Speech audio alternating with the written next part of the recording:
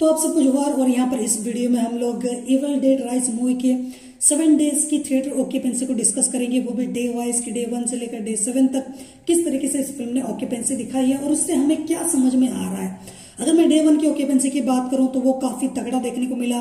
वो भी एक हॉरर फ़िल्म के लिए बहुत बड़ी बात होती है, खासकर ऊपर से हॉलीवुड फ़िल्म वो भी इंग्लिश में रिलीज़ हुई है, बाकी किसी भी लैंग्वेज में नहीं।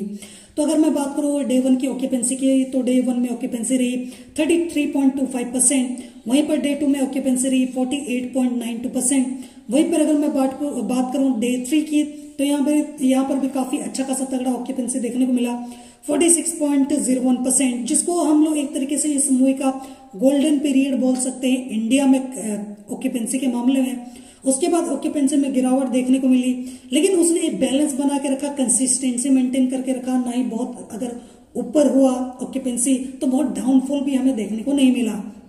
क्योंकि डे फोर में ऑक्यूपेंसी रही 18.86 परसेंट डे फाइव में ऑक्यूपेंसी रही 17.92 परसेंट वहीं पर डे सिक्स में ऑक्यूपेंसी रही 17.96 परसेंट और डे सेवन में ऑक्यूपेंसी यहाँ पर हमें देखने को मिली है 17.14 परसेंट तो आप देख सकते हो कि शुरुआत से लेकर मतलब तीन दिनों तक काफ़ी अच्छा तगड़ा यहाँ पर ऑक्यूपेंसी देखने को मिला।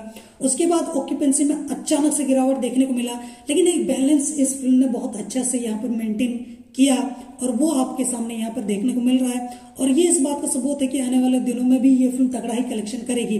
क्योंकि अभी भी कलेक्शन के मामले में ये फ़िल्म फ़िलहाल अभी भी बहुत अच्छा बिज़नेस कर रही है, अभी तक भी। तो मुझे लगता है कि बहुत आराम से ये काफ़ी तगड़ा बिज़नेस काफ़ी अच्छा कलेक्शन बीस करोड़ तो मतलब कंफर्म है ये फ़िल्म नेक्स्ट वीक तक, यानी कि नेक्स्ट फ्राइडे जो आने वाला है, तब तक कलेक्शन तो कर ही लेगी। इतना तो मतलब पक्का ही पक्का है। तो बाकी देखते हैं कि आने वाले दिनों में भी किस तरीके से मतलब सेकेंड इसका वीक जो है वो कैसा चलेगा अच्छा ऑक्यूपेंसी ये दिखाएगी या फिर ये तो वक्त ही बताएगा। चुहार।